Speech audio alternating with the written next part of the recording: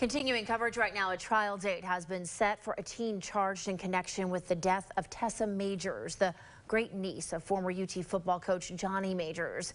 The 13-year-old's trial set for March 16th. An attorney for the suspect argued for his release into custody of his aunt and uncle, but a judge denied that request, citing the seriousness of the offense. Tessa Majors was stabbed to death in December. For the moment, the 13-year-old is the only one charged in her death. A 14-year-old has been questioned but released, and a second 14-year-old who was briefly on the run has been located. Police took forensic samples from him and are still awaiting those results.